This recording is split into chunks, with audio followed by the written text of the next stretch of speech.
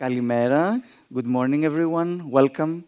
Welcome to the annual event of the Heinrich Böll Stiftung here in Thessaloniki. Uh, welcome not only in the room, but welcome also to wherever you're watching the live stream from, as the event is live streamed uh, all over the globe and will be also available on demand afterwards. As I said, this is the annual event of uh, the Heinrich Böll Stiftung office here in Thessaloniki. I'm the office director, Michalis Goudis, and I welcome you here uh, in Thessaloniki. This year we decided to dedicate our annual event, uh, an international congress, to the issue of migration and asylum. We try to invite everyone participating in it to rethink migration and asylum in Europe.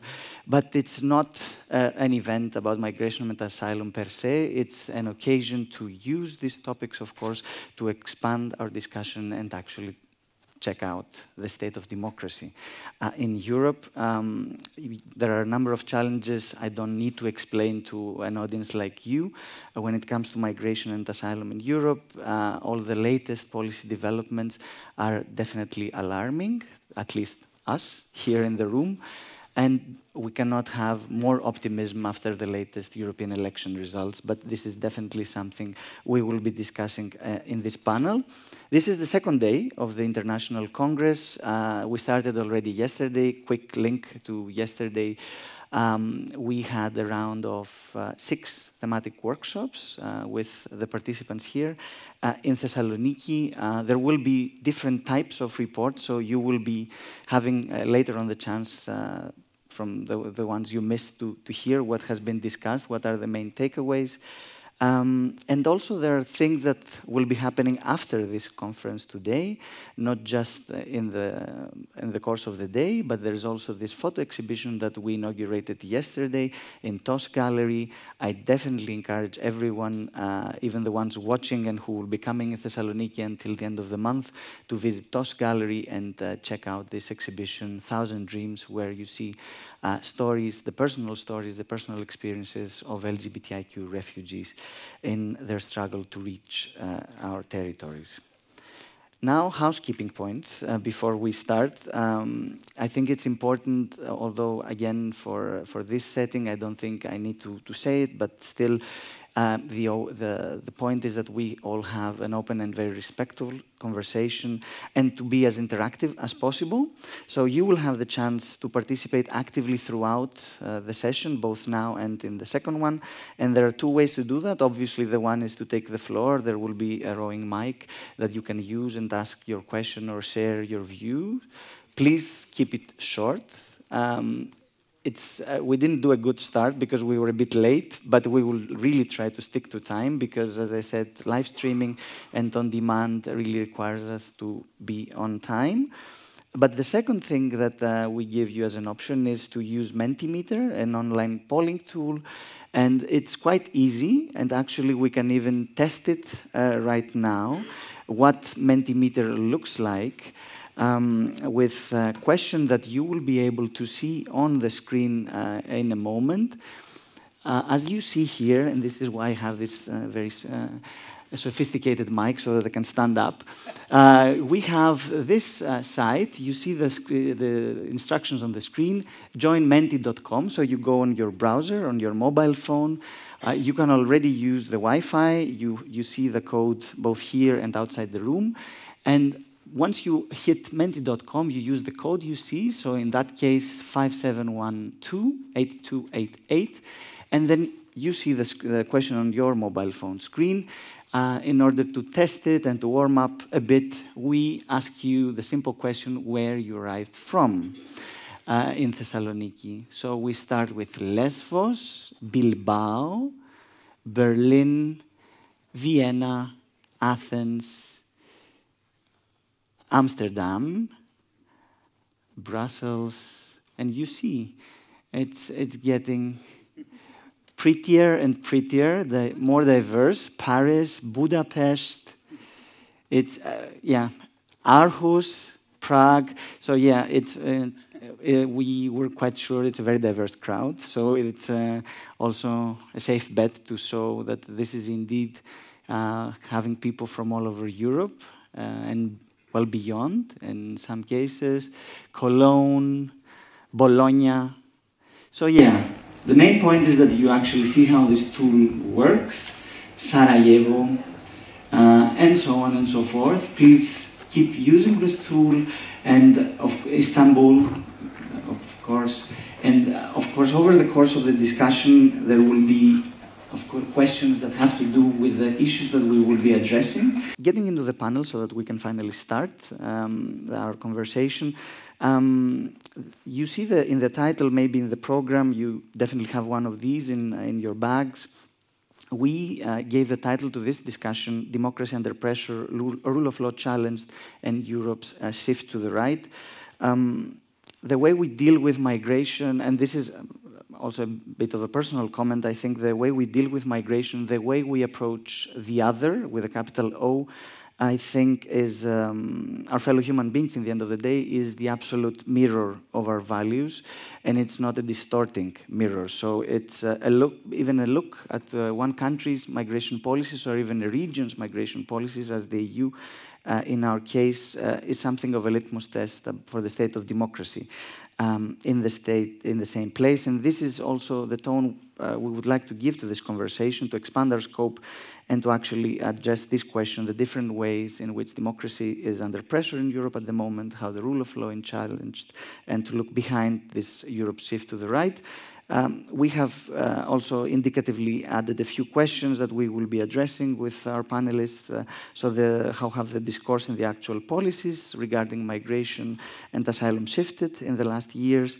Um, and how far is this part of an overall, an overall shift to the right? What role do fake news play? And how can the latest EU election result be interpreted and dealt with?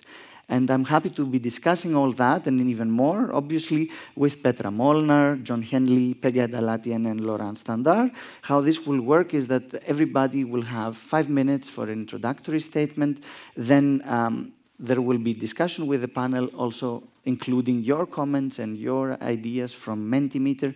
And then, of course, we will open up uh, the floor to you to start uh, a lively Q&A uh, for the next uh, 90 minutes or so.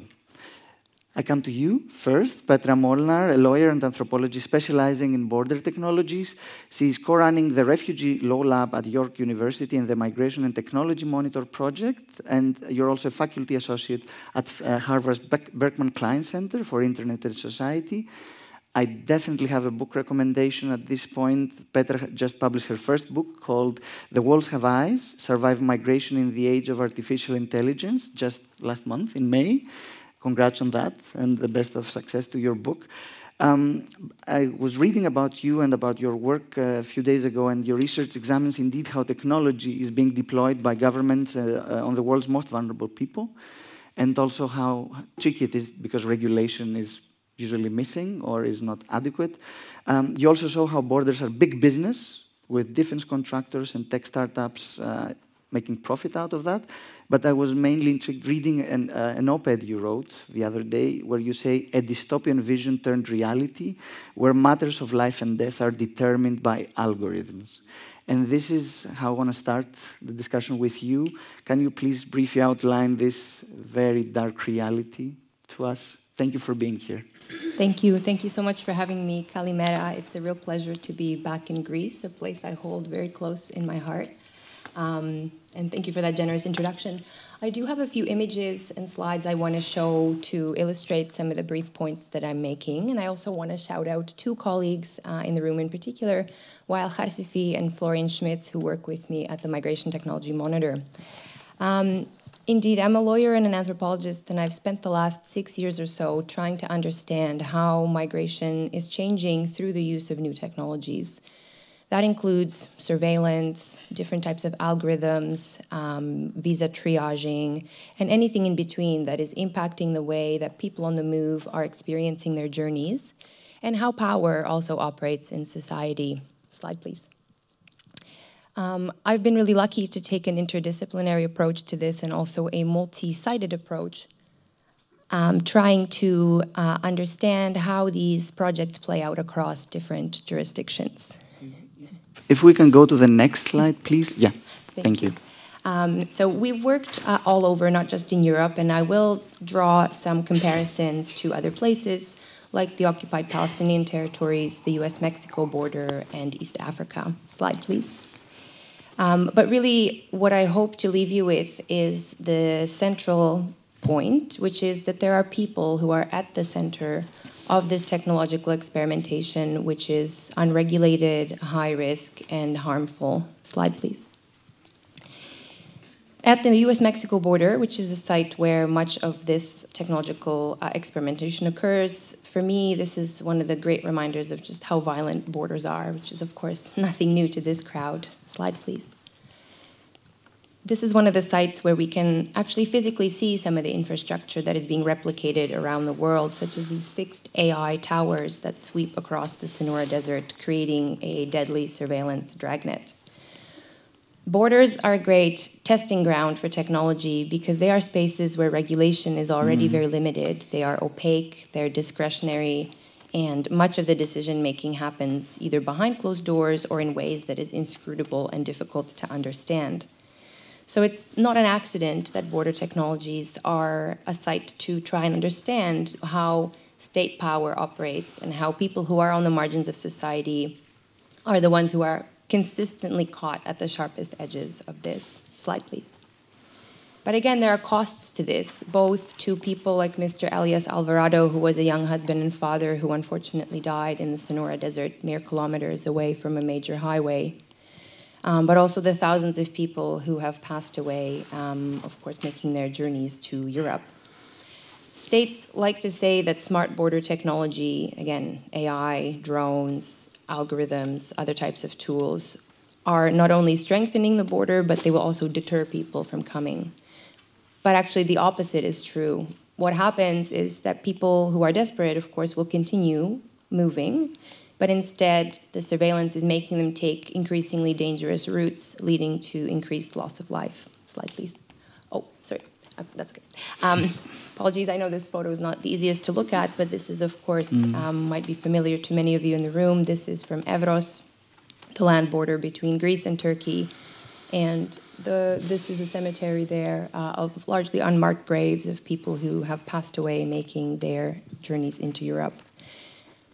I think it's important to look at images like this because they give us the context in which these mm. technologies develop. Again, Evros is a major site of surveillance and new experimental projects that are also difficult to unearth. States don't make it easy for us to be able to kind of lift the hood and see what is actually happening uh, in a lot of these spaces because of militarization, um, different secretive private sector contracts, and this kind of growing border industrial complex that is now a multi billion dollar industry across the world. Slide, please. One last use of technology that I want to highlight again, which is pertinent to this, this crowd in particular, is the carceral use of technology. That is, for example, the tech that we see in refugee camps. This is on the island of Kos. Um, we are seeing the rise of, again, different surveillance, um, even really outlandish projects now, right? Like robo dogs, AI lie detectors, virtual reality glasses that augment, you know, what border guards apparently is supposed to see. Again, in this kind of performance of power and a techno solutionism that has become the norm in this space. Slide, please.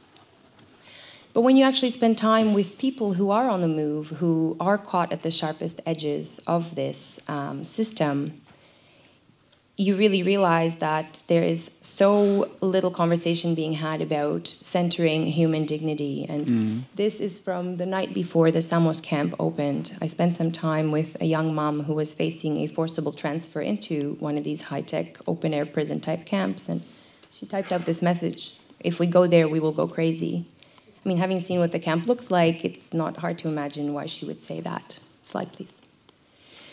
But in my brief remaining moments, I just want to broaden it out a little bit um, because the technology is important here, but ultimately a technology technological analysis is a way to try and understand power, how power operates in society, mm. and how there are massive differentials between those who develop the technology and the communities on which it's repeatedly tested. And I'll put my lawyer hat on for one second. Um, I'm a reluctant lawyer, but still a lawyer. Um, from a human rights perspective, it's very troubling because currently we don't have a lot of regulation and governance that would put certain guardrails in place for border technology. It's an interesting time right now, right? Because in the European Union, we now have the European Union's AI Act, which is the first regional attempt to govern artificial intelligence. And you can, you know, if you go into the text, it might seem a bit promising because there is a risk matrix in place that recognizes that certain technologies are high risk. However, when you actually start looking into it, you realize that there are so many derogations and exceptions for border technology. And why is that? Because people on the move, refugees, stateless persons are once again seen as a threat mm. and something to manage, to make intelligible, knowable, and trackable. So it is no accident that we have very little law there is the overreach of the private sector that develops so much of this technology and sets the agenda for what we innovate on and why. Mm. Slide, please. I just want to spend the last minute, though, on a little bit more of a forward looking direction mm. because this can get very dystopic and very bleak very fast. But I think there is actually a different way. Slide, please. And we can talk more about this uh, perhaps in the Q&A, mm. but I wanted to just quickly highlight a project that we are running called the Migration and Technology Monitor, which started off as an archive and a platform to hold some of this work, but it has actually grown into a community. Slide, please. And last year, we started incubating projects directly by colleagues on the move who are really the experts with lived experience that are sometimes themselves caught at the sharpest edges of technology. And Wael Kharsifi is with us today, uh, hopefully um, you get a chance to talk to him today. Um, but we have five other colleagues joining us this year from Palestine, Sudan, South Africa, Mexico, and, and other places too. There are different ways that we can examine these issues, and part of it is also making space for people with lived experience to be in the driver's seat of these conversations. So I'll leave it at that. Thank yeah. you so much, and I appreciate being here.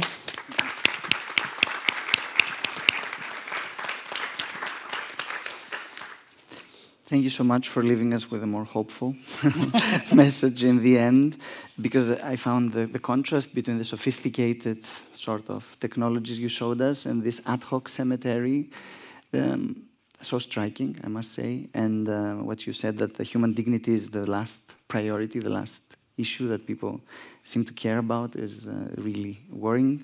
But it's great that uh, there is still hope and there are things that we can do and uh, yeah, hopefully we can discuss more about that, not just now, but also in the second uh, panel that will follow. Um, what you said uh, definitely moves us also to the narrative uh, and how we ended up here, uh, taking as uh, granted in some cases that people are a threat for our societies. And uh, on that note, I come to Jon. Jon Henley is the Guardian's Europe correspondent and very experienced observer of European politics. In more than 30 years at the paper, he has been based in Amsterdam, Brussels, Helsinki, London, and twice now again in Paris. And you've reported from almost every EU member state, uh, and as we were discussing yesterday, you try to connect the dots to, to outline, yeah, what are the common issues from all these capitals, and definitely the rise of the far right is one of them, and what makes them so successful. So we were discussing also that migration seems to be also the niche where they start everywhere.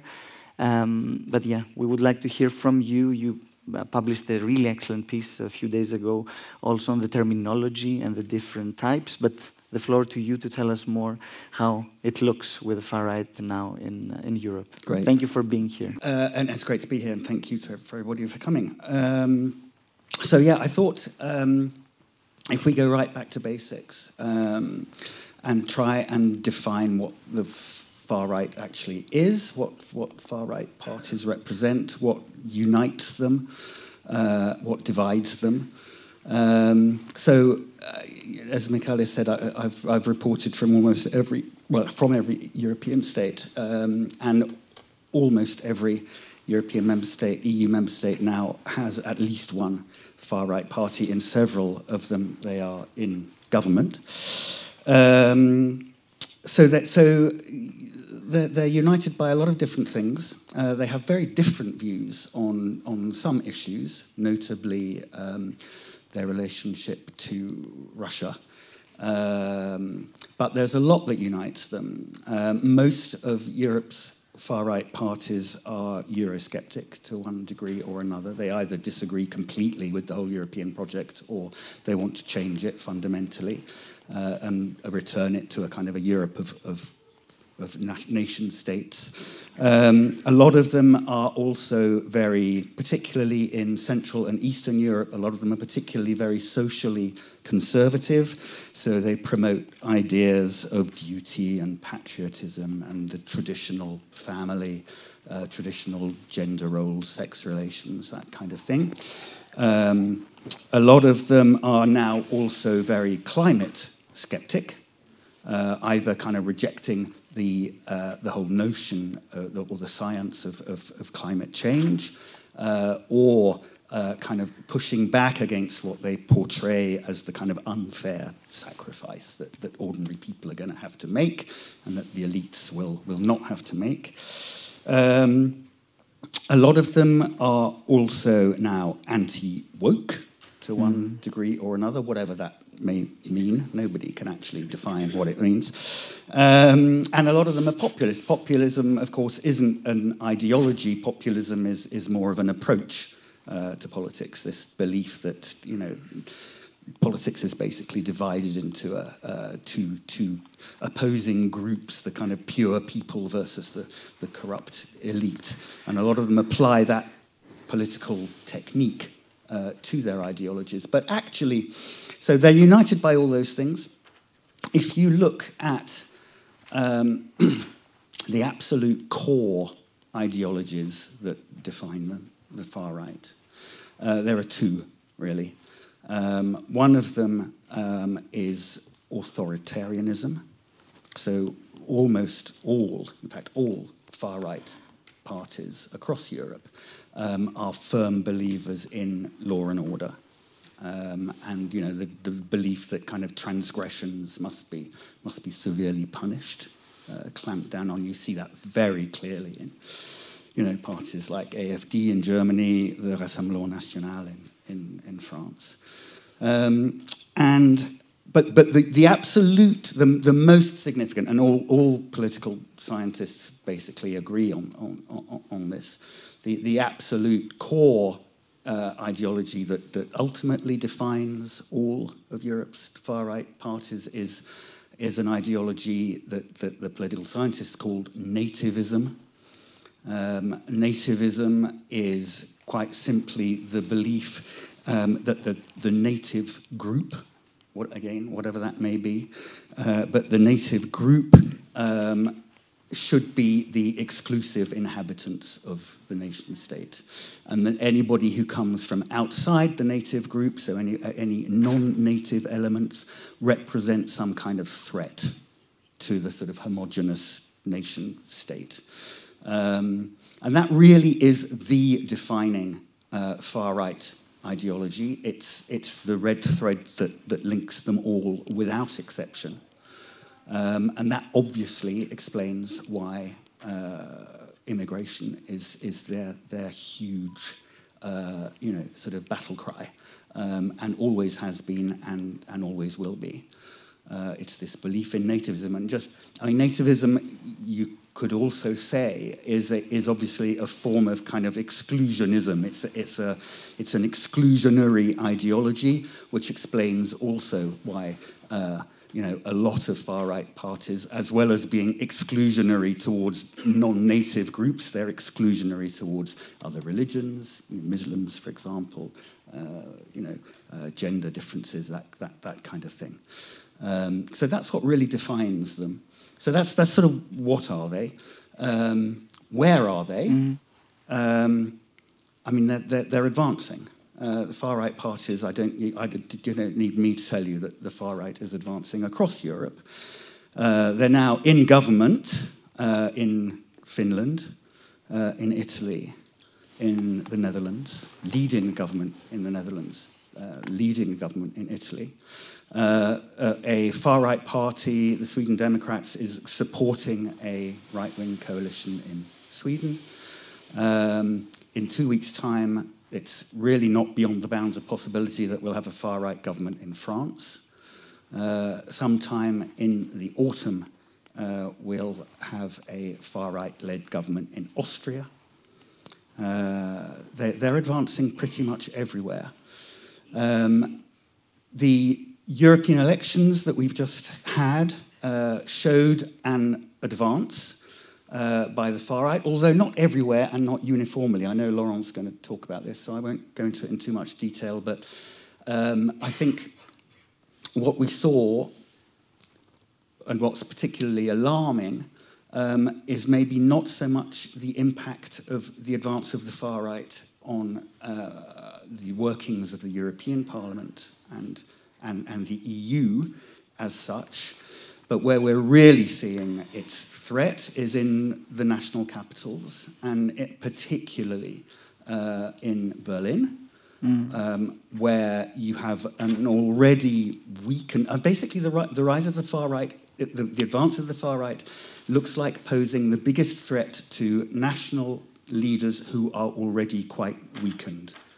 So Olaf Scholz in, in, in Berlin is at the head of a kind of very divided uh, and, and fragile coalition that can only have been made more fragile and more divided by the fact that AFD, the German far right party, collected more votes than every single member of Scholz's mm. coalition uh, and finished second overall. Emmanuel Macron uh, in France um, has been so weakened by the rise of the far right that bizarrely he, he chose to call a, a, a snap general election. And all the polls so far show that the, the National Rally, the Rassemblement National in, in France, either will, will may, may, may secure a majority, probably not an outright majority, but will, will massively outscore uh, the party of the, of the president. Um, so that's where they are. Why are they advancing? Just very briefly. Um, they're advancing um, because of a kind of a process of, of a, a two way process of normalization, I think. Um, firstly, many of them, as particularly as they approach power and as they actually enter power, um, many of them tend to moderate their, their most extreme views. At least they moderate the public expression of their most extreme views. So, uh, Marine Le Pen, for example, um, having been very heavily defeated uh, in 2017, 2017 French elections, presidential elections, because she was running on a platform of pulling France out of the, on a Frexit platform, pulling, pulling France out of the EU. That scared French mm. voters enormously, and that has now completely disappeared. There is no longer any ambition mm, uh, to pull France out of the EU or even the Eurozone. Uh, and you see similar kind of moderations. The parties, mm. Giorgia Meloni in Italy, you know, has behaved very sensibly um, as regards the economy, as regards kind of uh, relations with Europe, etc. Et so the parties themselves are sort of moderating, if not their core beliefs, they're at least moderating how they're expressing them. But there's also been a parallel process of normalization. I think this is absolutely mm. crucial um, on the part of the rest of the political establishment, particularly the traditional parties of, of the centre right the traditional conservative mm. mainstream centre-right parties across Europe. Um, so in all those countries that I mentioned before, where there are now far-right parties in government, it, it is in coalition with traditional centre-right parties. Um, and that is the core, uh, they're also, I mean, I, mea culpa as well, uh, as a representative of the media, uh, the media has completely normalized uh, the discourse of the far right as well. My smallest little anecdotal illustration of that is that I, I, I, have lived for two and lived and worked now for two stints in, in, in Paris. Just before I left Paris for the, for the first time, after the first stint, was just after 2002 uh, in the French presidential elections when Jean Marie Le Pen, Marine Le Pen's father, uh, knocked the socialist candidate out of the presidential elections. The eventual winner, Jacques Chirac, in 2002, refused point blank to debate, to have mm. the traditional yeah. debate between the two rounds of the elections, refused to debate Le Pen. Uh, we, and, and, said, we, I, I do not debate with the extremes. Right? So a couple of years later, I left France. Uh, 12 years after that, I came back to Paris. I turned on the radio on the first morning Um, and on the main France Inter, the main French public radio station, uh, 8 o'clock morning program, I, I, turned it on and it was Bonjour Marine Le Pen. Uh, it's a complete normalization by the media. Um, but so. I think that's the you know that's the that's the, the core of it, and that is why, alarmingly for everybody who's concerned about immigration, um, that that that is why uh, thing, these parties have been the, the, the, far right discourse is winning. Yeah. Uh, it's definitely won on immigration. Mm. The far right discourse has won the immigration debate uh, in Europe uh, for the time being. Hopefully, it won't always be like that, but, it, but for the time being, it has. And it is also well on the way mm. to winning the climate debate because of the way that centre right parties, these big mainstream centre right parties, CDU in Germany, etc., are um, prepared to collaborate with the far right. Thanks a lot.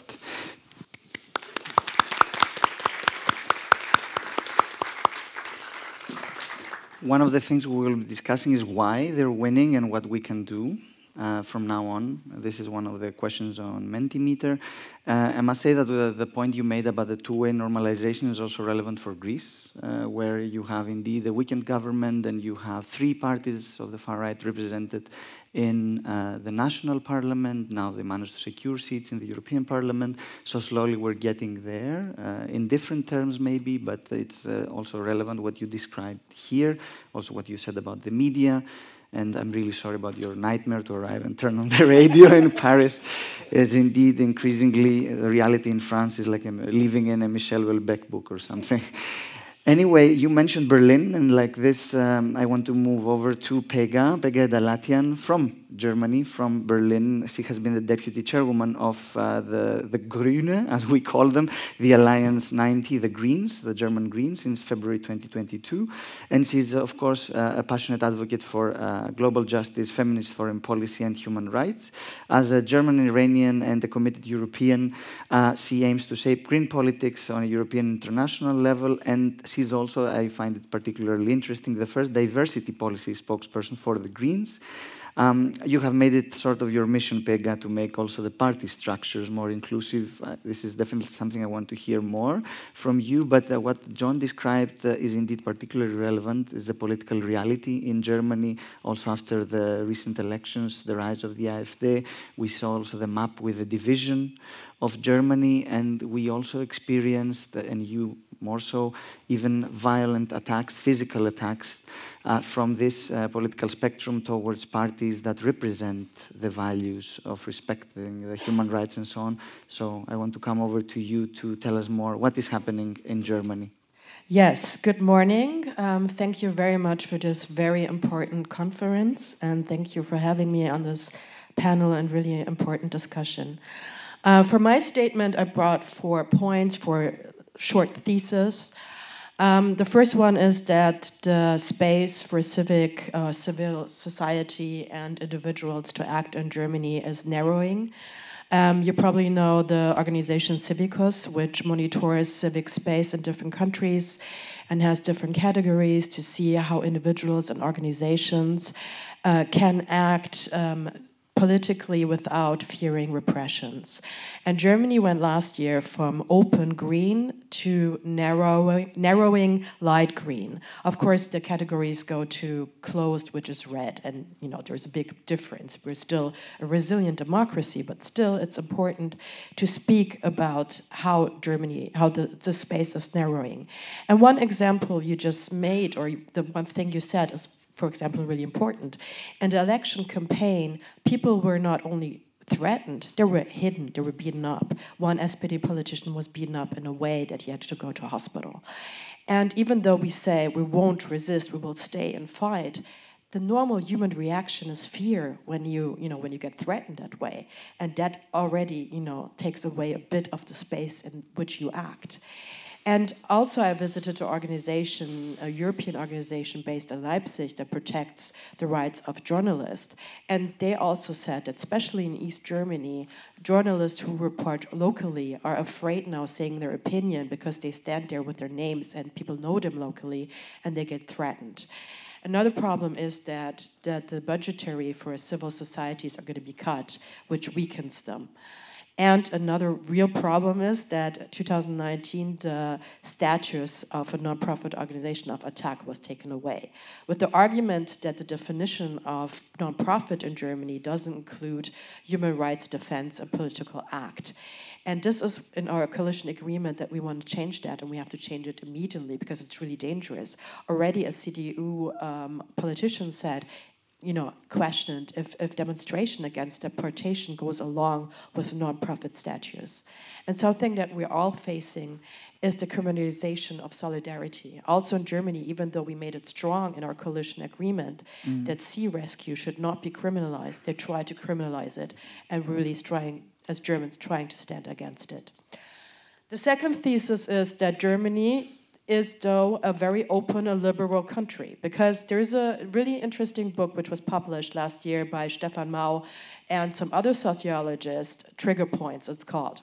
And they wanted to see if the German society is polarized like the United States. And they figured out that in the topics like migration, climate change, or LGBTIQ rights, there's actually an open liberal opinion, and there is, um, you know, the, the people have a consensus. But they observe people in discussions and they realize that there's trigger points. And they summarize it in four categories. For example, when you feel like you're losing control or there's something unjustified, or you get, you know, you know, those are two points out of four. So, you know, like I've seen two times how in Germany we got in a lot of refugees and there was so much solidarity and sympathy, and they turned it around, focusing on um, you know, there were some real problems, but the, the far right and the conservatives constantly focused on chaos, on fear, and they repeated that, repeated that until the whole society's attitude turned around towards it. So that's also important how, how right wing people play with the emotions of people.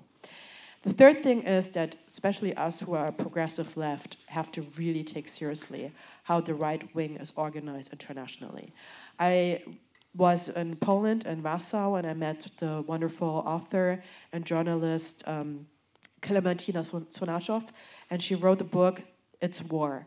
And she describes really good how the right wing is organized, how they work on disinformation campaign, how they're attacking women, human and minority rights, undermining and democracy. But she also describes how in Poland women organized themselves against it and were able to do something. So you know, we all have to wake up on this issue. And my last issue, fourth issue, is that we need to get the issue of distributional justice on the agenda again. I think through the 90s, the disappointment with with the Social Democrats in the third way did a lot of harm because since then we're not able to get that on the agenda again. Like in this um, election, a lot of workers voted for the AfD. And when I was campaigning on the streets, the ones that were willing to speak to me said, You're not going to do anything about our problem, about inflation, mm. about our cost of living. And you know, I'm agreeing. And I was like, okay, this is on camera. I'm really sorry, but I, I, I was. Well, why don't you vote for the left? And they're like, they don't have any power. They're not going to do anything. So there's a complete disillusion of mm. that this situation is going to change. Yeah. And that's why we need to get that issue on the agenda again. So these are four points, and uh, but I'm looking forward to the discussion.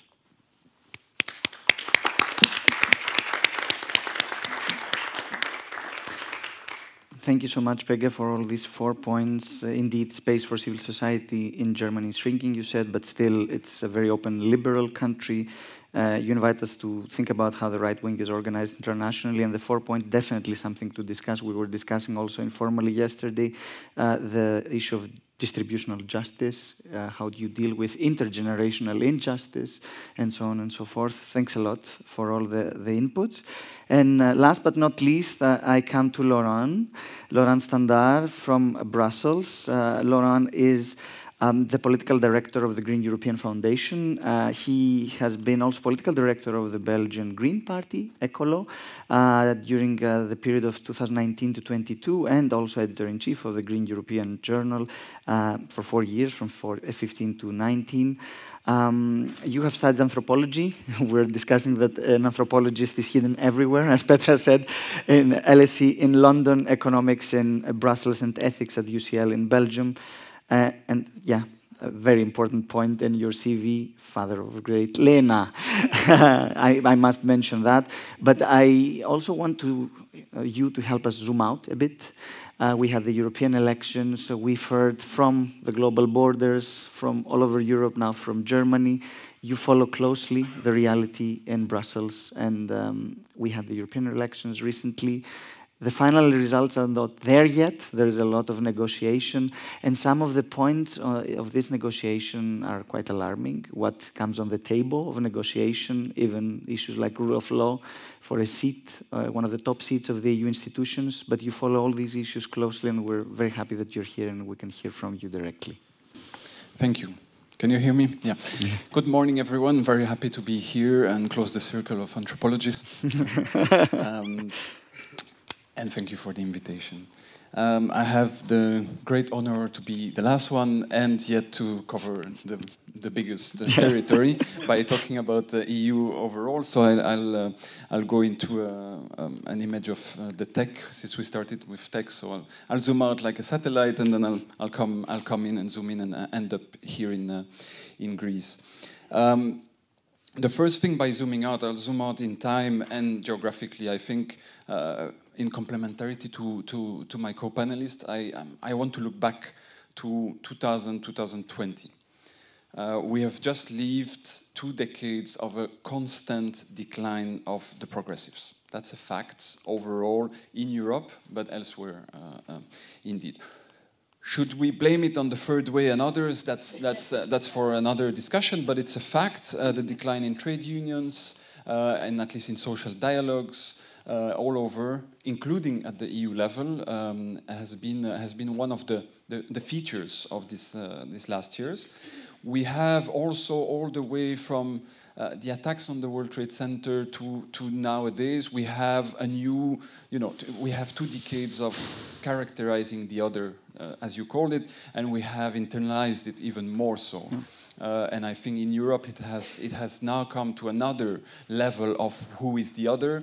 And uh, as Jon uh, touched upon it, the far right is, is building on that with nativism and with this, with this uh, char characterization of the other, not as the faraway terrorist or whatsoever, but in house. Yeah. Uh, and that I think has been a big change.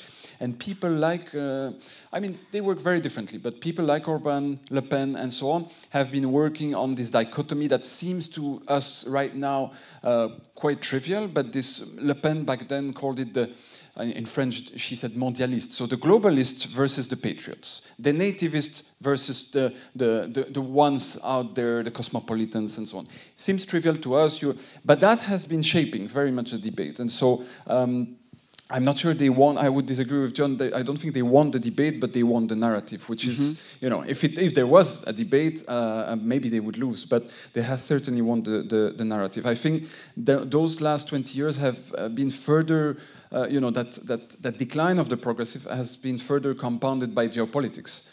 Uh, you know, we, we, we, because of technology, we're, we're literally bombarded by news and so on. But if you, if you take a step back, uh, we just lived the last 20 years of a, you know, a reverse of the westernization. So we have the BRICS, we have an emergence, and that's for the better, uh, in my view, uh, of um, alternative models, and I'm not a fan of the global south, but we have a change uh, that has shaped also the way we see ourselves in Europe and is internalized. Yeah. Uh, you know, you go from uh, a colonial Europe that can therefore pride itself and project itself with power and therefore has a different mirror, as you called it, Michalis, on, on migration. Whereas now, as it is declining, it has changed that mirror onto the other, and therefore by an exclusionary, uh, uh, um, you know, method. Then we come fast forward to uh, to, to Trump, uh, to it's an it's it's an interesting era. It's um, the, the French philosopher used to call it uh, um, you know the, the the green versus brown, um, and I do tend to agree. I mean the first move of Trump before even looking at the Mexican wall that he uh, border wall that he intended to do was to kill the the Paris Agreement, right? So yeah. get out of the Paris Agreement uh, on on climate change. That was the first thing because it was a symbol for yeah. him of that move towards you know a comprehension of a more open but also collaborative uh, uh, international space because you can't achieve you know and climate change has no border blah blah blah blah blah you can't do that if you are if you are in a in sort of multilateral open interconnected uh, um, uh, space. The, the other thing that you see in the last 20 years, and that's very important for what is happening right now, especially here in Greece, but elsewhere, is the rise of the executive. Mm-hmm. The parliamentarism mm-hmm. has really, really gone down over over over time. Uh, it's it's it, it's down to a sort of puppet shows in some countries. Uh, and that's really important. And at the EU level, you see it as well. The council is the is really the powerhouse. Uh, you know, the parliament is really an interesting place. It's an important place. We have gained more and more powers, and as you know, as Greens, we've been defending them. But the council is what what yeah. makes the what makes the agenda, and there it's even worse in terms of the colors uh, of far right and uh, right representation um, uh, in terms of the heads of state. So again, 2000, uh, the, 2000 2001. Fast forward to 2019 there you, you are 2019 2020 you are in a, in a you know pre-covid area with some tensions. You have people marching on the capital but you also have a, a, a hopeful sort of green wave in uh, in Europe. You you just lived through a Wir schaffen das in in, in Germany yeah. uh, yet with what was you know coined as the refugee crisis. So you have a, you have this world and then you arrive uh, into what we have just uh, noticed uh, now with the European elections, the 2019-2024. These are really, you know, um, uh, kind of uh, fast-forward transition years. Five years COVID, Trump Biden, but with a radicalization of societies. You have changes elsewhere, uh, you know, uh, with Bolsonaro and so on in, uh, in South America. And you have the, the, the invasion of Ukraine, and not the, not the least, the 7th of October in the, in the Gaza Strip. Um, during those years, you have um, Eurobarometers are more or less stable, more or less. I mean, mm. people still care for climate. People you know, do care for the cost of living and so on. But the instrumentalization, and that's where I very much agree with Pegah, of, of the other and of migration, and of the sense that we have, and I'll come back to the key question of this, uh, of this conference, democracy under pressure, that we, we, democracy is slipping away from us, that instills fear and insecurity, a sentiment of, you know, we're not in control of this, and who will give us control? And that's where the narrative comes back to, uh, um, to, this, uh, to, to the far right. And I think the worst thing that has happened in the last five years and has really crystallized in the European campaign for the European elections is all the way from what Ursula von der Leyen made as a European way of life mm. commissioner. Mm to this Euro whiteness. Uh. You know that the Euro whiteness has really become sort of a, a, um, a mantra that's uh, spread all over uh, the place. And during the European campaign and for the, the elections of the European uh, Parliament, you notice a shift of the right and what we used to call this, you know, mainstream center right towards the right. So that's that's I think uh, very important. You you asked me to cover um, uh, the European elections. Uh, uh, Just let me um, give me a minute to ask my colleagues to also yeah. So thank the you. latest version yeah, of the results, where we stand with the distribution of the, the, seats. Yeah, that's the very latest, unfortunately. Um, and so we, we came to this uh, to these elections. I'll, I'll, try to make it very very brief, but still covering the European Parliament elections. Uh, we came to these elections with that sort of uh, uh big picture. So 2024. Uh, we have questions of security. We have, there's no question of, uh, you know, I've seen heroes uh, in the last two days. I mean, all of you and that I hear in the workshops, I mean, you know, I, am no expert, but I mean, we don't have a problem. We have a problem in Greece for sure because of the lack of solidarity at European level. We don't have a problem with migration. It has been made a problem again and very well instrumentalized. We, you haven't heard about it until more or less November 2023, and then it's back. And it's back on the agenda. Everyone knows you put you push that button, the trigger is on, and it works. It works, and then you have the right, and you have a Spitzenkandidat like von der Leyen that has to position herself uh, against it. The result of the election, as, as, um, as Jon said, are worst in the capitals, uh, in the capitals of some member states than in the European Parliament. So I'm, being, I'm going to be a, a bit controversial, but it's not as bad as we thought. It's terrible, believe me, but it's not as bad as we thought. What do I mean? We were expecting, look at all the analysis pre-election, very serious people, you know, a, a, a wave, and some were even predicting that the, you know, the ECR, which is European Conservatives and Reformists, and the ID, where uh, the Rassemblement National of um, uh, Identity and Democracy of Rassemblement National of Marine Le Pen sits, that they were going to be close to half of the of the chamber. That's, I mean, it was very serious analysis, and the polls were. That's not the case. The European Parliament elections as a transnational democracy have worked. We have received the results. There were irregularities, but they were minor uh, compared to you know, most of national uh, uh, elections. It's not a far-right European Parliament, uh, but when you have Ursula von der Leyen coming on the stage right after and saying the center holds, which is a famous sentence, it is obviously completely fallacious. No, the center doesn't hold. It has entirely shifted to the right the decline of the progressives is now confirmed in ways that are more structural than even in the past. Yeah. And that's the scary part. Uh, and a few days ago, we had the confirmation that ECR, which is the group where the party uh, Fratelli d'Italia um, the, of, um, of Meloni sits, uh, is now the third party, which is going to be complicating even further the negotiations on top jobs, but you know everyone focuses on top jobs, but the agenda, the next agenda of the of the commission. Uh, I think what is most worrying and relating to what Jon was saying is that the Europe of nations behind the European Parliament elections is winning or gaining ground, and that's the real worry. Mm. Is that not only the the right has taken uh, on board language around uh, uh, you know migration and the other and so on. But it has taken on board the fact that you know the European project is a European of uh, European project of member states. We'll have to compose with that, and so that's that's a worrying, uh, certainly a, a, worrying part. Um, overall, during the campaign, the the European Green Deal was attacked. But you had very varied scenes uh, throughout Europe. Sometimes it was security, sometimes it was migration. Um, I know I have to finish. Yeah, yeah. exactly.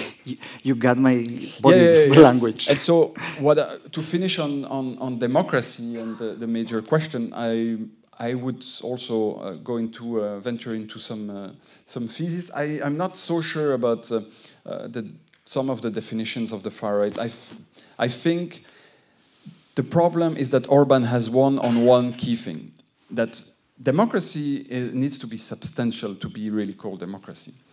But the democracy of the far right or the right wing uh, uh, um, um, extremist in Europe is a majoritarian democracy. So it's an exclusionary by, by, you know, by design. It's like, you know, we got 51%, yeah. we are the Euro whites, you get out. And so that has won. And then you attack the media then you know as as uh, Meloni does in Italy and so on and so forth. And so that I think on um, on the European scale level uh, it has been uh, it has been uh, uh, showing. And then the last thing is indeed, and uh, you, you, have said it, Pegah, we haven't studied at all from the progressive side Bannon. I mean, Bannon came here.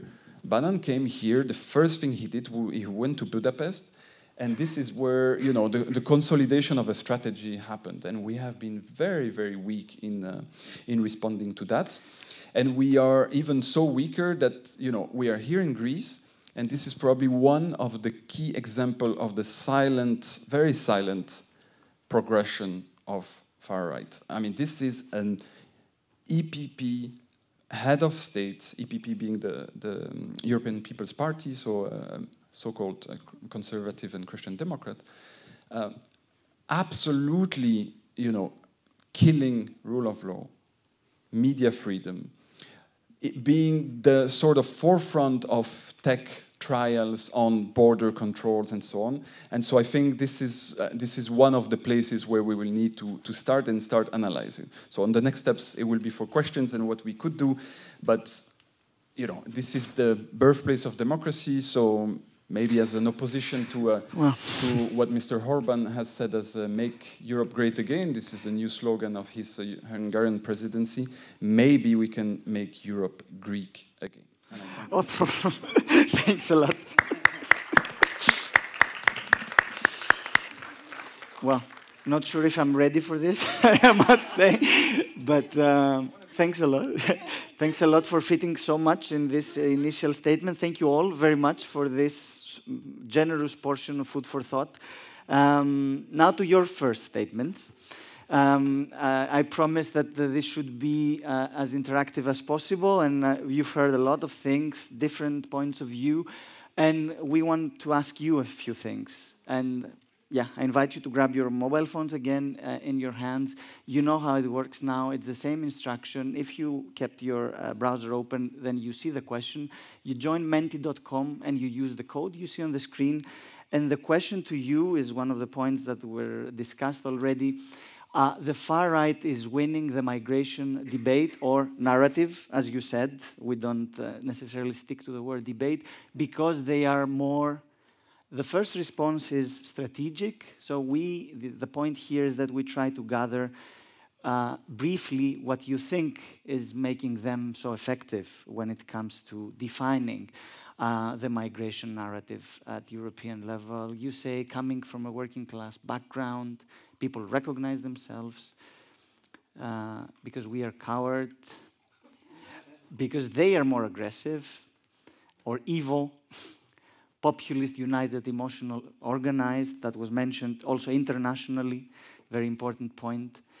They managed to construct a narrative blame of the other. That was also something that we heard in this uh, discussion supported by the media, or at least, uh, as Jon said, is part of this normalization that is taking place. They're better storytellers, oh dear God.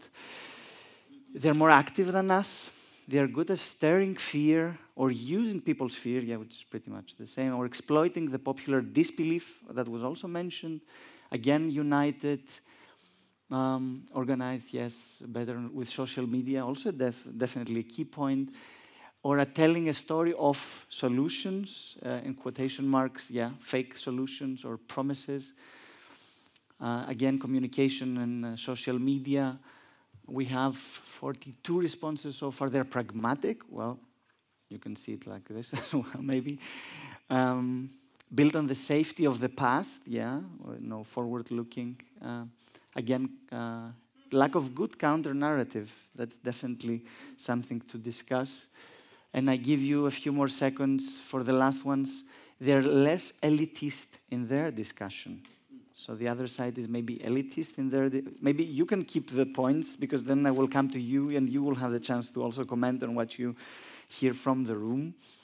Uh, again, organized. They don't spend time on the theory of change. That's an interesting one. maybe we spend too much time on the theory of change because they're yeah better simplifying things for sure and they are not self-referential. Well, I'm not sure about that, but uh, thanks a lot. That was a very interesting one. And then we have one more before we continue. Uh, it's a different type of question. Uh, yeah, voting in progress. And then if we move to the next one, you will see, in line with what we heard from Laurent, um, asking you the European Parliament in the new legislative term that is now starting will. And we give you three options. Um, the first one is that it will still serve as a corrective to council positions uh, to which, uh, that, which weaken the rule of law in the EU. The second option is that the uh, European Parliament will be backtracking on issues such as rule of law and democracy in the member states, or which is probably uh, yeah the middle ground, have a fragile majority, so it is uncertain to judge its course. And so far, this is the trend that we see here already 13, 14 responses, yeah, say that it's probably too soon to, to judge. And we're probably talking about a very fragile majority. You saw the picture, how it looks uh, at the moment after the first rounds of negotiations. Uh, but yeah, this is probably what most of you here in the room think. Um, yeah, we give you a few more seconds to uh, file in your views, but it seems that, uh, yeah, there's not too much faith that uh, the parliament will still serve as corrective to the council. So what we said that um, the Europe of nations will be winning, um, probably it's also something that you share as a, as a point. Um, but yeah, the trend in the room is that of a fragile majority, so it's uncertain to judge and maybe we leave it there. Thank you all, and thank you guys in the booth for making it uh, happen. And now back to you. You heard what the, the room thinks about uh, these issues, so I get back to you to react to any of these points that triggered you or any of the other points you heard from your co-panelists because before we get into discussion. Shall we go one after the other? Yeah, maybe I start from Laurent. We, we go the other way around this time. So, what triggered you from what you, you saw on the screen? And uh... oh, that was a lot. That was a lot to take in. Um, I think, uh, you know, exactly for the last twenty years, I've heard the word narrative a billion times. Uh, we have to work on the narrative. We have to work on the narrative. Uh, I, you know, I'm a very pragmatic person. I don't believe in any narrative that's not anchored in social reality. Um, and I think there we have missed big time. Uh, the, and I say we progressives, but obviously I come from the green movement, um, and it's it's actually acknowledged on our side. We have missed uh, sort of the we have not jumped on the bandwagon of talking to trade unions, talking to um, you know to people that are organized around the labor movements. Mm. And that has been something which you know is is also a testimony to our history. We're relatively young sets of parties, 40 years. We were born with Schengen, with neoliberalism, with Europe. Uh, you know, we were not there before, yeah. and so you know we we are this sort of baby of the knowledge economy, the Barroso years, and so on. Uh, so that's a, that's a corrective we have yeah. to apply, and so that that speaks to the to to our elitism. Uh, I mean, we can we can speak about our sociology and our own demographics. Uh, this is something we'll have to, to, to reckon with. Um, just one thing on the last uh, on the last Mentimeter. You know, there are more expert people here in the room, uh, colleagues from uh, from the from the Parliament. But for the first time, I see a threat that the European Parliament is not going to pick up the rule of law topics. Seriously. Mm. You know, uh, as Greens, we've been very much on the ball. The first, very first rapporteurs on um, on on Hungary and Article Seven um, have been from the Greens, Rui Tavares, uh, Judith Sargentini, and, and, and now with uh, Gwendoline Delbos Corfield. Uh, this could be, and this has been a worry, including with the Greek case, which yeah. we have never managed to put on the table, on the despite the fact that it's uh, you know all indicators are even worse than any other place. On that, I'm not hopeful. Thank you very much, Laurent. Uh, I come to Pegah. I obviously want your take uh, and anything you want to comment, but I also want to add a question to you about the role of the parties, because I know that you're also working a lot in Germany, in, within your own party, how parties can become more diverse and more representative of this complex reality out there. Maybe you can also add a few points on that, what kind of work you're doing in the Green German Green Party on top of your comments. Thank you for that questions. Um, yes, I, I, thought like what also triggered me was narrative and storytelling. I think there was this one comment they're, they're the better storyteller. Yeah. And are they? Because you know, I think they're just not playing by the rules. They don't have boundaries. They hmm. have no problem in lying, using emotions. The AfD, for example, they don't do parliamentarian work. They use the strong resources while other politicians are you know working on on resolutions they have like they use the resources on on completely just to do TikTok and social media. They're not doing anything else. So you know, it's quite you know, if you, you have the backup of Russia, you have money, and you you're not you're not uh, you're willing to lie, you're willing to instrumentalize, to play with the basic emotions of people. So what we're facing here is is people who are not playing by rules. Um, so that makes it a bit bit tough for us, but um, at the end we're really smart too and we can like also counter this. I'm really uh, I, we just, I just think we just have we, we slept for too long. We have to wake up and mm. get ourselves organized strategically. And yes i'm the first diversity spokeswoman of the party and the idea was that you know you, you need representatives. You need uh, like for example people with migration background uh, in politics to have to be a role model but also to represent um, you know, the, the people with migration background. In Germany, we have 27% of the population have a migration background. It's not a small group, so of course they have to be re represented in the parliament. Um, but also, you know, they should also act as a role model.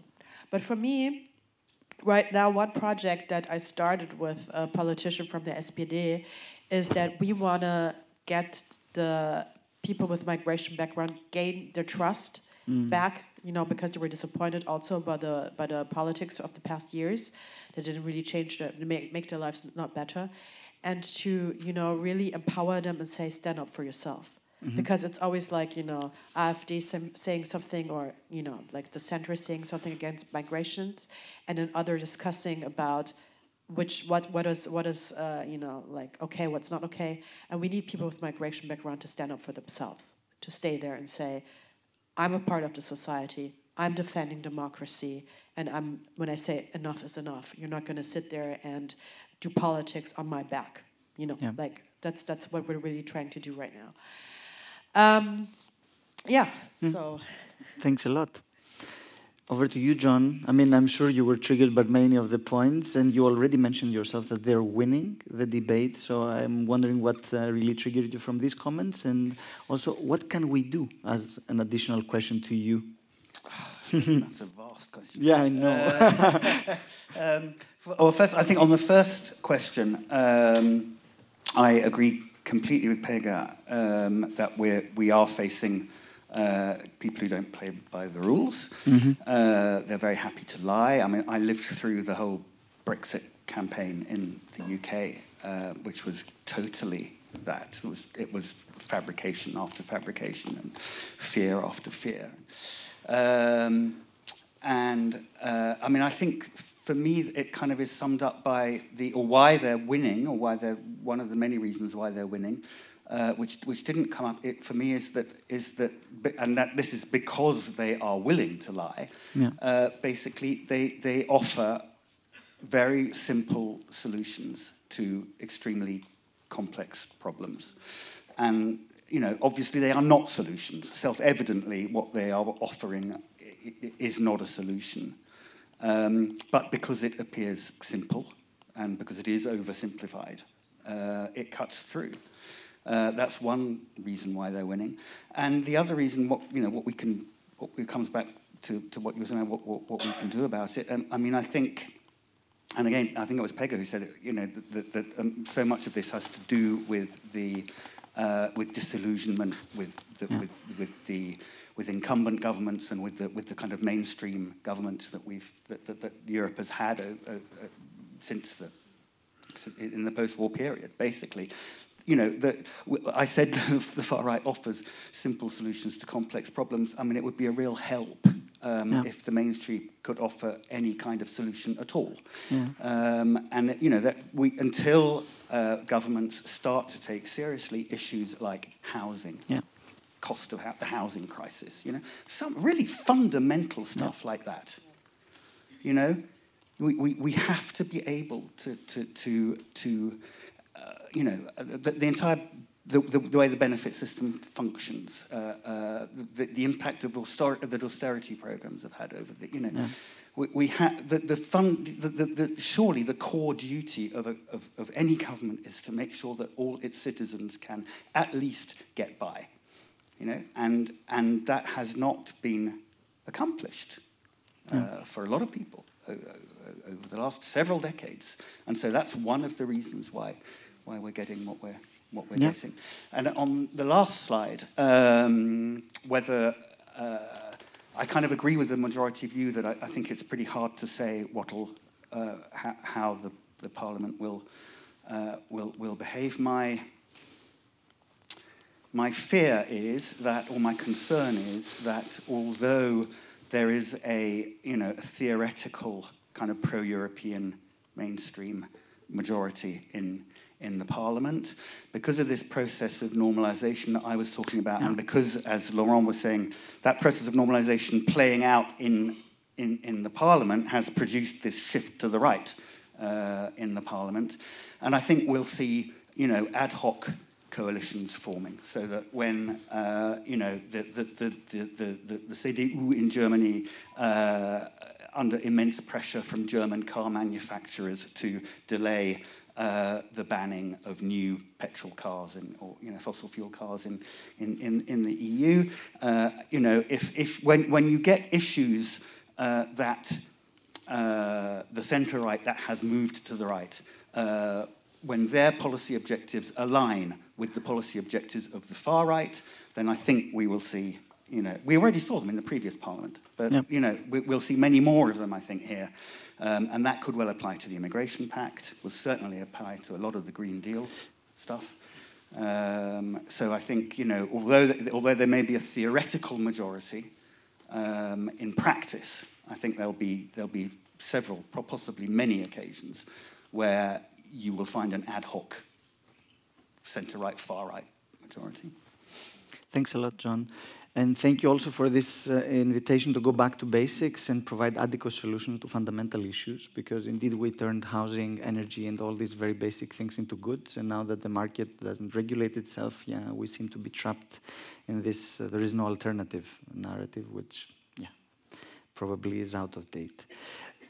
Petra, last but not least to you, obviously I would like to hear what triggered you, what you find interesting to comment, and also an additional question maybe because, yeah, you highlighted the, the lack of regulation, so maybe what is needed in these uh, issues that you raised and also at which level, because also when we talk about AI, it becomes increasingly difficult to uh, understand at which level we can regulate and how.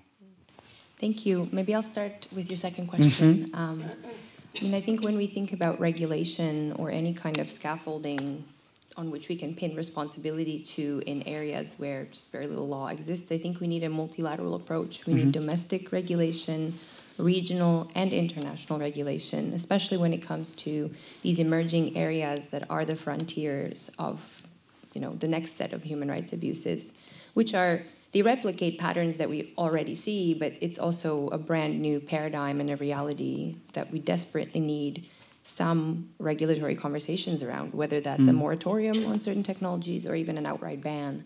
Um, but it's also about bigger questions, right? It's about Absolutely. who gets to decide what yeah. kind of society we live in, in and why, and and what counts as innovation. I mean, it's not an accident that certain powerful actors, like the private sector and the state as an entity, decides that robodogs are appropriate or AI lie detectors are appropriate and not using AI for the auditing of immigration decisions or rooting out racism at the border. That's a normative choice that is being made. Yeah. So I think we need this holistic approach to, to this issue for sure. And then pivoting to what stuck with me from these really, really interesting responses is I actually think we also need to look inward in, in our space, whether mm. we call it the left or, or this you know, migrant justice um, setting that we operate in and also reflect on how we can better work together and how mm-hmm. we can uphold principles of solidarity because there I, th- I, think one thing is that that the right does better is there perhaps is less infighting and less kind of identity politics um, that seem to fuel a lot of the division among yeah. the different groups that we all work in and not only does that not help the cause that we are all very passionate about but i think it actually distorts the narrative that we are trying to change anyways. So I think we also have to look inward a little bit and, and recognize how we are part of the problem too, you know, and mm. when it comes especially to representation of affected communities and people who are the experts, really, I mean, it requires us to also take stock in how much space we take, right? I Yeah. mean, myself included, right? I'm building my career on writing about a specific group, which I'm part of too in ways, but you know, I think it's important to query how many resources we take and, and what is it that we're really doing by working in these established ways. I think we can actually build a different world, but it requires some reflexivity um, and perhaps some creative ways of working in a different way.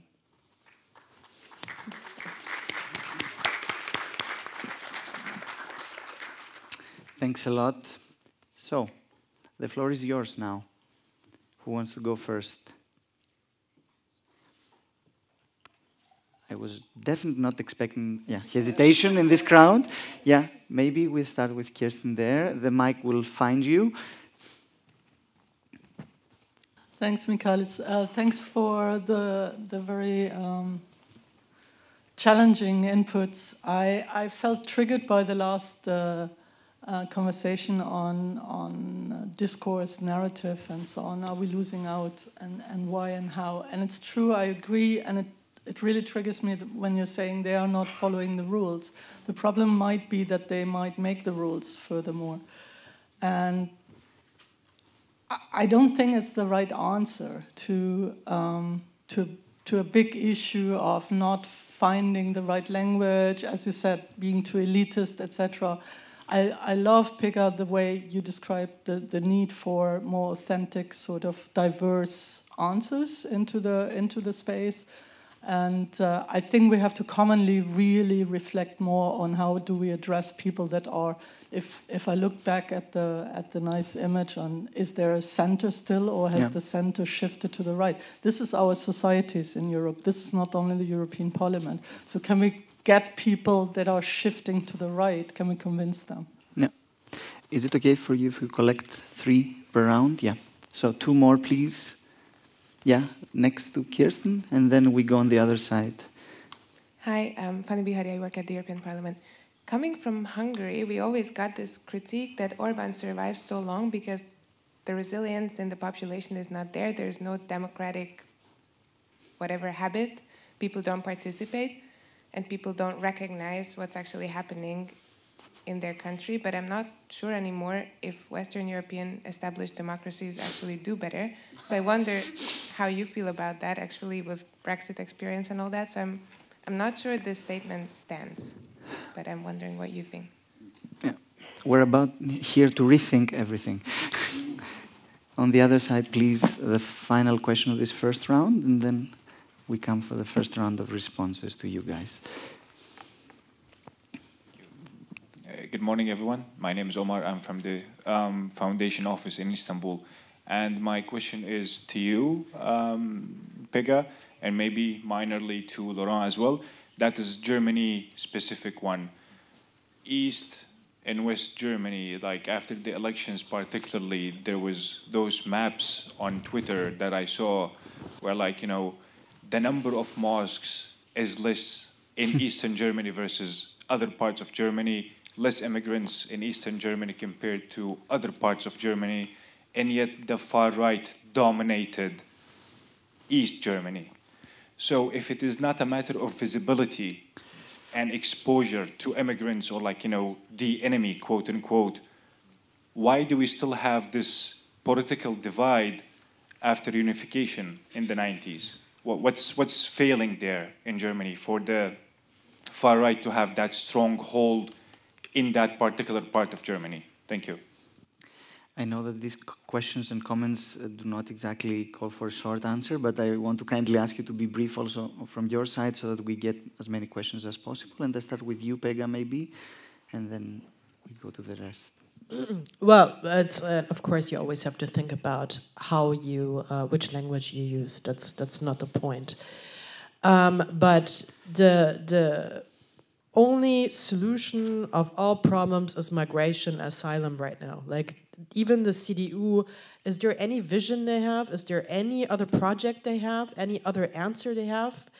They don't. So, um, what we need is, a, is the battle of coming back to to say these are the problems, these are solutions. Like, um, Thomas Piketty says if you um, don't invest in the infrastructure and you have an artificial shortage, minorities start competing with each other, and that's when workers think, okay, uh, it's either me or, or them. And that's why um, language is important, but what is really important is to invest in infrastructure, to have just a you know, to, to get, raise taxes, invest, so we don't have these shortcomings for people, and invest in housing and, and mm. all the all the issues, public transport, yeah. all that. And um, East Germany, yeah, well, you know, where, when, when you have in, in places migrants, there's less uh, uh, sometimes yeah there's more, there's less um, problems because you actually are friends with migra- with people with a migration background. So maybe that would have helped if there was more people visible in, in East Germany. But the thing is that right now with the rise of AfD we can't just say it's just an East problem in Germany. It's a German problem yeah. right now. There is some more problems in some areas, but it's it's right now it's a whole German problem, and racism is is actually um, raising in whole Germany, un unfortunately. Um, but in East Germany, also to come back to that issue, um, after like uh, the uni unite, Germany got united, there was so many mistakes made not to invest in the infrastructure of the East, not to support civil uh, society in, in, in, in, East Germany, uh, transport, housing, all that, they lacked to do that in East Germany properly. So I think, you know, we could have a long debate on what problems are, yeah. but I think these are also some points to, to make about East Germany. Thank you, Pegah. Jon, to you. It's the uh, Hungary question, um, and to, and to offer maybe a, a small um, glimmer of, of optimism. Um, I mean, Poland is the Poland is the is the is the counter narrative to to Hungary in, in, in the sense I think that Poland, I mean, it's unfortunate that Poland had to go through eight years of, of, of uh, uh, law and justice uh, uh rule. Um, obviously, and, and I think a lot of people were very unconfident because another th the thing that I didn't, one things that I left off the list of one of the commonalities of, uh, of far right parties clearly is that they are illiberal. Uh, many of them are illiberal, and once they get into power, then they will start trying to, and they do. Uh, we saw it very clearly in Hungary and in Poland, and now in Slovakia. They start trying to capture the media, uh, they capture the courts, they start attacking civil society uh, groups, etc. Um, and so Poland was a, is a is a is a I think a, a you know, a, a, a sign of hope. Uh, it's unfortunate that it seems that um, sometimes populations have to go through the trauma and the chaos of, of, of realizing that, that far right parties in yeah. government, um, you know, clear, obviously can't deliver what they promise because it's uh, in exactly the same way as Brexit. You know, if you, if you promise something that is fundamentally unrealizable, uh, the British Prime Minister promises to stop the boats, you know, clearly. That, that is simply not possible. And so if you promise that and you fail to deliver it, then you're going to be in, in trouble. But just my little note of optimism is actually that if you, um, if you actually look at the numbers in the European elections, um, you, you, see that the, the, the advance of the far right parties in the European Parliament, um, it wasn't the spectacular surge, as, as Laurent said, that many of us feared, or that many polls feared. Um, it was, a, it was, a, it was a, an advance that was completely in line with the trend that has, has been established over the last two decades. Uh, no more, no less. Um, and in fact, most of their advance was due to major progress in three countries France, Italy, and Germany. Um, and if you look around a lot of the rest of the EU, the far right, far right parties actually underperformed. They underperformed particularly badly uh, in countries where they are in or supporting government, right? Finland, Sweden. Denmark, even the Netherlands. Netherlands, Wilders, Geert Wilders' Freedom Party, which comprehensively and shockingly, by a shocking degree, won you know, the Dutch elections, Dutch general elections, only in November. Mm. Sure, he got a lot more seats than he did before, but he didn't. But he was beaten by by, by a socialist Green alliance, you know, which, I, which by his standards certainly would have been a, a you know, a serious un, underperformance. So I think there's, you know, it's not, the battle isn't lost, is, is what I'm saying. I, I, my worry is that, yeah, it's, um, you know, I mean, it looks like France is heading that way. France, yeah. France seems to be determined uh, to experience um, a period of, of, of, you know, of government, if not led by, but severely, strongly influenced by a far right party. Uh, you know, one has to hope that it'll come out the other end of it and, and return to sanity, as Britain is now doing. Britain has lived through, uh, you know, since 2016, uh, you know, five prime ministers in six years. I mean, yeah. completely unre- total, total political chaos and instability. Yeah. Um, and it's now returning, 99% certain, to, to a, you know, a, a safe pair of hands and a, and a, and, a, moderate, you know, reasonable, not very inspiring, but British voters clearly don't want very inspiring, but they've had enough of inspiring politicians for, for the time being. They want somebody who's pragmatic and gets the job done. Thank you, Jon. A short reaction from Laurent, maybe, and uh, from you, of course, and then we have our final round of questions. We started after the academic quarter, so we have five more minutes for sure. yeah, thank you. Um, not always sure where to, to start, but if you look at, it's always interesting to look at barometers and then compare them with election results. And I think the one thing, that's why I went back to the two last decades, the one thing that sticks is, and we don't talk about it, and proof is here, we haven't talked about it. Democracy needs to be substantial, you know, I'm, I'm not a, I mean, I, have been trained Marxist, but I'm not a Marxist. But I mean, you need a, a socio-economic dimension. Mm -hmm. Inequality has been rising to such extent that the left behind is no more, uh, it's not anymore, sorry, uh, you know, just a fringe of the society.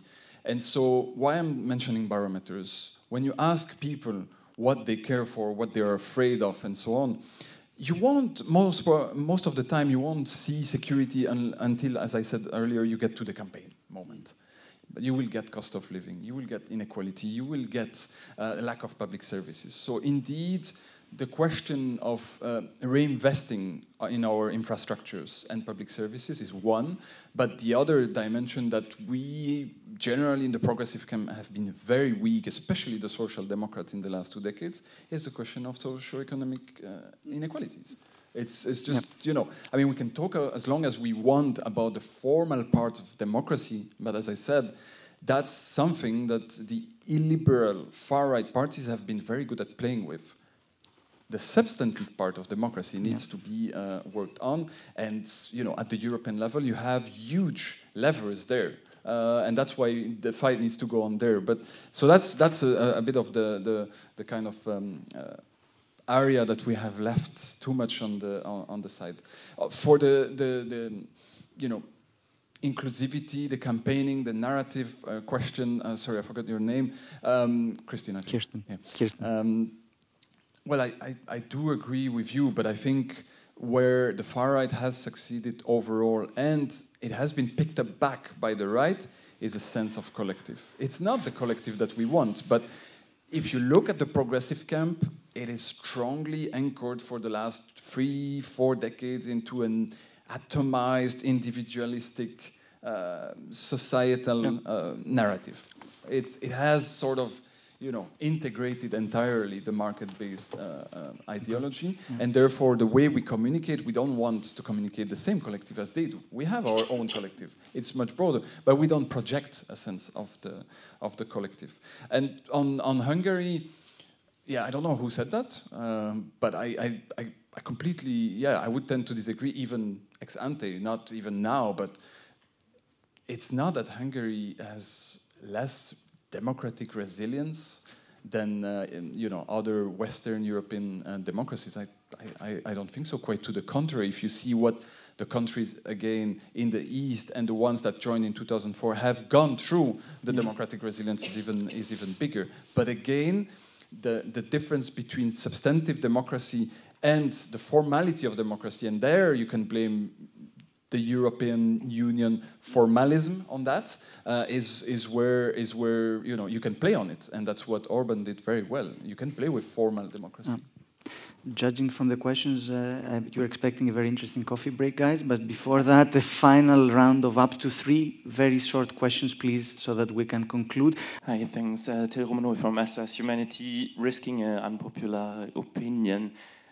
Isn't it that far rights won the migration debate and are going to maybe win the climate change debate because we let them. And shouldn't politics and politicians react? And that's maybe a question to Pegah. Mm. Um, react in a sense that while we let AFD and far rights a lot of space and a lot of room to construct their ideas and to share their opinions, mm. politicians and politics right now are missing out to deconstruct them publicly and to speak out on the actual problems, to explain them. It's like barely we see politicians explaining what they're struggling with, yeah. emphasizing the civil society to share this problem and this feeling with them to yeah bring politics a bit closer to that and yeah maybe just to, to hear your opinion on, again mm. on that Pegah would be nice not very unpopular opinion. um, where was the second one? Here, and then the gentleman in the center. Thank you. um, my name is Thalia Russo. I'm representing the Greek Green Institute um, in this Congress, and I consider immigrant myself because I live and work in London for the last 20 years. So, um, although I'm a medic and supposedly I'm sort of highly paid and everything, I have experienced the Brexit myself. So I wanted very much to know what are the lessons that Europe has learned from Brexit. Mm -hmm. We are still, um, you know, living this. And I have another question, which may sound simple. Why we can't uh, pass across the messages in a simplistic way ourselves. Why would the far uh, right has this privilege? Is this that difficult? Thank you. Well, the million dollar question. And the gentleman in the center. And like this, we close this Q&A round and thank you very much for your active participation and apologies to the ones who didn't make it. Uh, hello, my name is Wael Kharsifi. I'm with the my, uh, Technology Monitor and I'm a journalist myself. My question is to Jon because I want uh, to ask you about like your great experience covering elections in Europe. And my question is specifically about elections because like covering Southeast Asia, which is a far away region from here, there's a trend that we saw there for the past like eight years that far right parties, which gained a lot of ground, they were like the far right party in Malaysia, for example, was the single highest votes they didn't get in the government because another like practical coalition was made. But one reason is they gained a lot of votes in the past eight years, aside from the fact that they are also, just like you mentioned, are not willing to play by the rules. They are, they are willing to lie and disinform the public. But one another reason is between the elections, far right parties in Southeast Asia are always willing to be on the ground talking to people, like we saw them being on the grassroots level, uh, helping farmers, with, for example, when floods happen, when like there are problems with housing crises, they are always willing to be there on the ground. And my question is, through your coverage of Europe for the past all those years, is there is there a similar trend? Do you think far right parties in Europe are good at being close to people, offering practical solutions between elections? Thank you many questions addressed to you, Jon. So I will come to you. Uh, I will give you a final word, but maybe I come uh, to Pegah first to react to the first question. Well, there was different. We don't have a common strategy of all parties and politicians. At the beginning, um, well, and, and I used to be a political advisor in the um, Parliament of North Rhine-Westphalia, and at the beginning, the strategy was to ignore AfD, not to discuss with AfD. Um, and then for a while, they were not present in the media. And you know, there was a while they were going down and the pandemic, and then they suddenly they rised again. And then the second strategy became to explain what they really want and to explain where the problems are. And all these scandals were also published, but it didn't really help. You know, like uh, we were not able to. Um, well, I think okay, some percent they went down after the big democratic demonstrations, but still, there's for all the scandals it's still too high. And you see that also in the United States. I mean, Trump mm. is about to get elected from the jail to the um, to become a president. Hopefully not, but it could be possible. So this is a constant battle. We constantly have to think about how we can reach the people again. You know, like especially with with like winning their heads and hearts for real solutions. Like I'm really working on this. Mm. We, in Germany, we had um, we we raised uh, the welfare money for people who are out of job, and I thought the critic would be, why is it so less money? Why why why didn't you put enough in it? And somehow the centrist plus the right managed to do this huge debate about why are they getting almost a much as much money as those who are working in low paid um, jobs. So they were they were more successful to have a competition between these groups than having the society asking for, you know, proper um, loan of people that are working. Yeah. Uh, we we wanted to have basic child income, social income for those children in poverty, for them to have um, some some basic income. And we didn't get the back up the society for this. We just got critic the whole time that the concept that we have on the table is too complex. so um, we all who are in the progressive left really have to work hard to get again these issues on the table to have empathy to have the trust of the people that you know we can we can do our politics for to, to invest in infrastructure yeah. that is good for everyone and that that our only issue should not be or or it's not a, a, solving problem at all if you have a hard politics on asylum and minorities and migration migrants. But what really worries me that uh, maybe you can say also something about that after brexit after people saw that you know when you have no migrants coming in your problems don't get solved they get worse um, right now, do you feel like there's an openness for migrants? Because I heard there's a um, group called Migration Zero who even want worse, you know?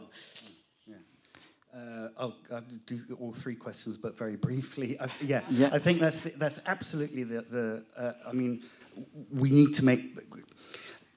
I think the left generally has been absolutely terrified of the migration mm. question for far too long. Um, nobody dares make a positive case for immigration. Uh, it's absolutely extraordinary. Um, it, is a, it is a statistical fact in Britain, uh, as, we, as, as we demonstrated, we tried, you know, we worked it out uh, uh, during the whole Brexit debate, that, that, and, it, and it is a statistical fact in most Western European countries that immigrants contribute more to the national economy than they take out in terms of that they pay more into social security than they take out. They tend to be younger, they tend to be working hard, you know, they, they, they don't need they, they, basically, they contribute more than, than they take out. And European economies need, this is something we haven't touched on at all, U European economies need migration yeah. to maintain the, the, the, the, you know, where, where they are at the moment. And I, the only politician I've heard say that recently was the Spanish immigration minister, who I think stood, stood up in a couple of weeks ago and said Spain needs X number of hundred thousand migrants per year yeah. to keep the economy going. Um, so, yeah, we have allowed, we, we, we certainly have allowed the, the, the, far right to, to, to, to win the narrative on, on, yeah. on migration. Uh, on Brexit, um, very briefly, Jon, if you may, very you may quickly. please. Yes. No, very, very quickly. Um, I mean, I think the one positive that's come out of Brexit is that there is now no single far-right mm. party in Europe that is actively pushing to pull their country out oh. of the European Union in the in the immediate future, because people have seen, uh, you know, quite what extraordinary chaos it, it, it, it leads to. You cannot just uh, you know, erect a whole mountain of barriers with, with your biggest single trading partner and expect it not to have any kind of an impact. Uh, and on, on immigration, the, the, the other, th- I mean, actually, the answer to that question is that um, leaving the European Union um, may have reduced by a factor of six uh, the number of European Union citizens coming into the UK. Yeah but it has led to somewhere between a doubling and a tripling of the number of immigrants coming in from outside the European Union. Um, so it, again, it's this simple solutions to complex. You, you cannot just say, yeah. "I am going to stop. We will stop all immigration." It is simply not possible. Um, and finally, the, the question on um, far right parties. I think it's different in Europe mainly uh, because there is, in most, certainly Western European and a lot of Central Eastern, there, there is a, a, good, solid safety net, social security safety net, where, yeah. so actually the far right uh, in, involvement is largely rhetorical rather than practical, where you have seen the far right and in, in the, actually the extreme right, yeah. uh, the neo-fascist right, for example, Gold, Golden, Golden, Dawn, Dawn um, you know, made huge electoral progress uh, in the during and in the aftermath of the eurozone crisis, crisis yeah. 2011, 2000, but precisely because they were active in the neighbourhoods and delivering food yeah. and, and all that kind of stuff. But in most Western European countries, you know, the, the, the, the, the degree of practical aid that, that political parties, on the ground aid that political parties can deliver is kind of minimal. Thanks a lot. One final minute to Petra and Laurent for anything as a final comment, and then we conclude, please. Just finally, um, yeah, just to reflect about how maybe we can work better in yeah. this space. Again, I think it's about um, thinking creatively and collectively about what is the future that we're building towards, and where do resources go, and how is it possible that we, as you know, being part of this political spectrum, seem to be kind of running behind. And I sometimes think about it this way: it seems like we are we have to be so reactive to so many social problems, but I think we actually maybe can be a bit more proactive in terms yeah. of solidarity building, in terms of identifying issues and finding new narratives that will push us forward. This is also one of the reasons why we wanted to have this kind of meeting here and to co-construct it with other offices, with other organizations, with people like you guys. So yeah, totally see the point. Laurent, even if you can make it in less than a minute, it would be great. Yeah, so 30 seconds on uh, on the on, on an observation, very general, but I think it's important. I, I do believe in it, and then on maybe 30 seconds on the next step, and you see I already wasted 10. So on on on the observation, again, I coming back to the the last years and even decades what we too often forget when you're in a party and you have to design a program and you have to design your narrative and so on is that we taken we have taken for granted that the debates around are about values the big return in the last two decades of morality in in the in political circles is really where we are losing yeah. Morality and values are not the same thing they can be, they can coincide, but the, the sort of return of a moral order, as you see it, is really what is endangering us. So we need to tackle that, and there are, as I said, points of convergence. The question of solidarity, I mean, we hear it here and some, but I mean, point me to a Green or even a Social Democrat Party that has made it really one of its, uh, you know, uh, forefront uh, campaign um, mantras. It's it's it's not a given. On the on the next steps, there are so many things to say, and as I said, uh, most people I've seen yesterday are I consider heroes and heroines. So. Um, let me say about the parties. And I think about the parties, one thing is really the question of the connection on the ground. Yeah.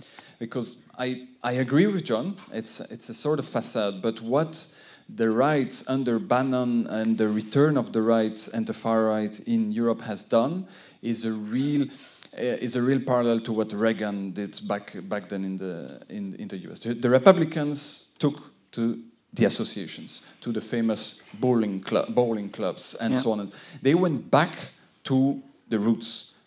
we're very far away from the roots. No matter, you know, I mean, I'm, I, I don't want to be negative, but I want to be constructive, and we we need to do Yeah. that. And so the dialogue with uh, trade unions and so on, civil society organizations are key, but they are Yeah. not the only thing. Trade unions and associations and local uh, uh, level is really important. Thanks. We'll be discussing more ways ahead in the second panel. After the break, I think we provided more than enough problems with our first panel here so that you will have enough to discuss in the second panel. I won't dare to summarize everything we said because we have something much better than me repeating things.